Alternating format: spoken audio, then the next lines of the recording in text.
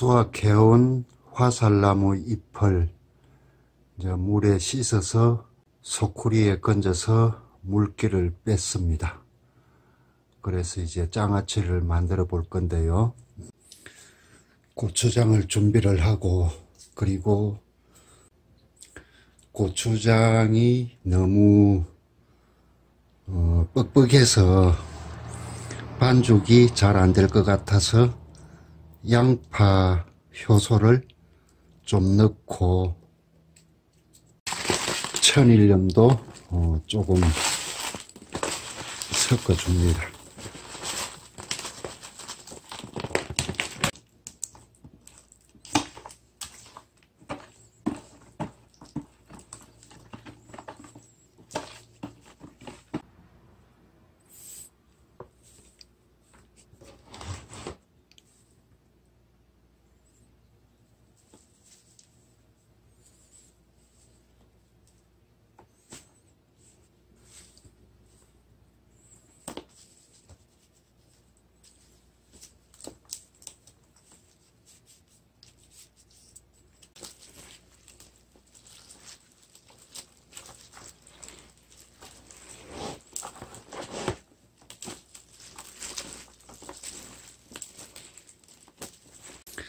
고추장이 너무 뻑뻑하면은 이렇게 버무릴 때 어, 골고루 빨리 잘 안 묻는 단점이 있으니까 고추장 양념을 좀 묽게 만들어서 어, 버무리는 게 양념이 골고루 구석구석 다 그렇게 어, 버무려집니다. 큰 소코리로 한 소코리를 따서 장아찌를 담았는데 숨이 죽으니까 이게 뭐 양이 팍 줄어들어 버리네요. 이뭐 손으로 두 번 정도 덮을 박 덮, 덮을 정도로 밖에 양이 안 나옵니다.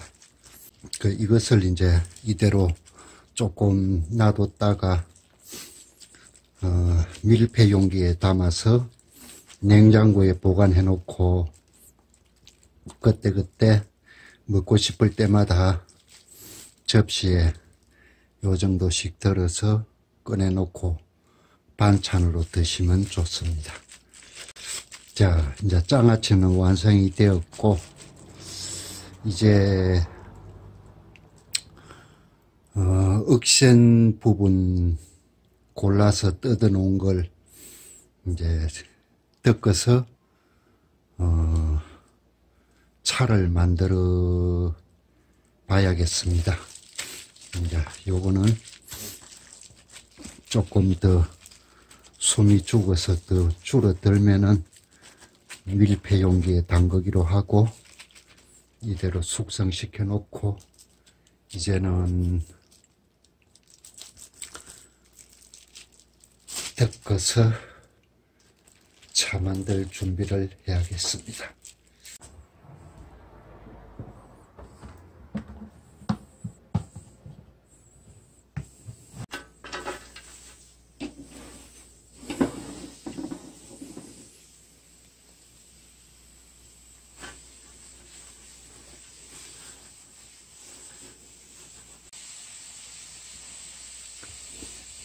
양이 이렇게 많아서 한 두세 번에 걸쳐서 덮어내야 되겠습니다.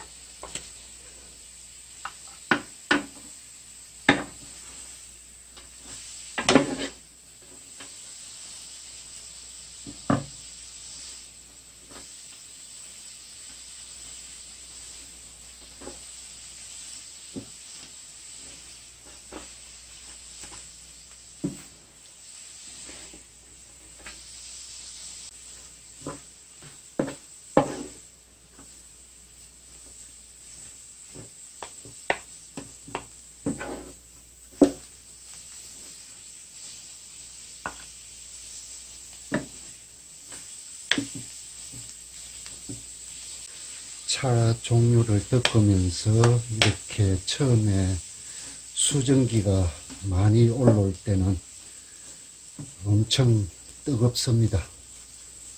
그래서 이제 이런 나무 주걱으로 가지고 어, 살살 뒤, 뒤적여 주면서 어, 덮어주고 이제 나중에 숨이 어느 정도 죽고 수분이 수증기가 더 이상 나오지 않을 때 그때는 장갑을 끼고 그렇게 뒤지기면서 어, 덮어주면 됩니다.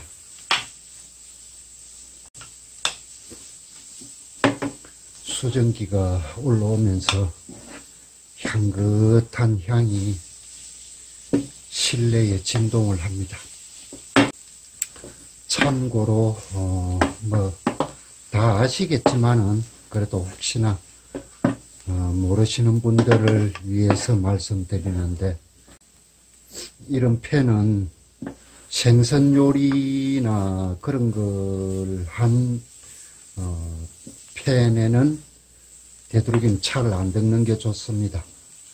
왜냐하면은 아무리 깨끗하게 닦아내도 나중에 이 차를 다 덮어진 차를 물을 부어 뜨거운 물을 부어서 우려 마셔 보면은 생선 비린내가 납니다. 그러므로 어, 이 팬을 차 덮는 용도로 별도로 하나 구매를 해놓고 그차 덮는 용도로 위에 이외의 용도로는 사용하지 않는 것이 좋습니다. 그리고 이제 이렇게 쓰는 나무 주걱 역시도 어, 이것도 제가 그 뭐야 저 유명한 관광지에 그런 데 가가지고 사가지고 온 건데 어, 이것도 요리하는 데는 전혀 사용하지 않고 오로지 이렇게 차 덮는 용도로만 보관해 놓고 사용하는 주걱입니다. 그리고 이제 이 펜도 역시나 마찬가지로 어, 차 덮는 용도로만 활용을 하고 있습니다.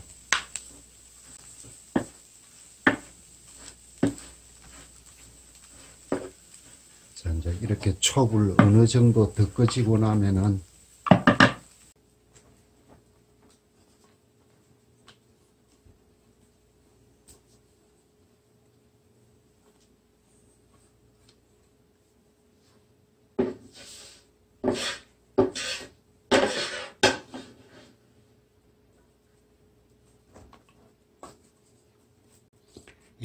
이렇게 1차적으로 덮어지고 나면은 이걸 면 보자기에다가 이렇게 널어서 수분이 어느 정도 날아가게 어, 두고 또 이제 저쪽에 소쿠리에 있는 것을 또 팬에다가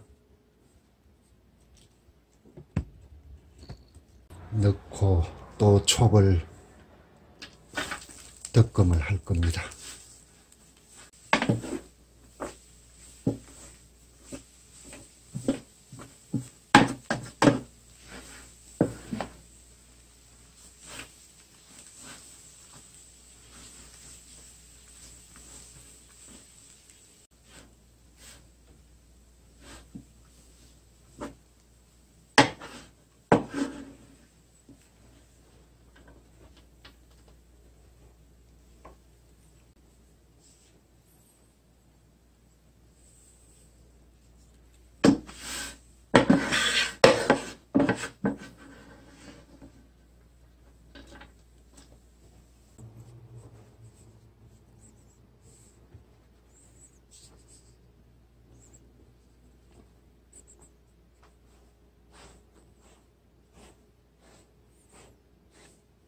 이렇게 이제 차를 닦으면서 이렇게 비벼주는 이유는 이제 비빔에 비벼지면서 상처가 생기는데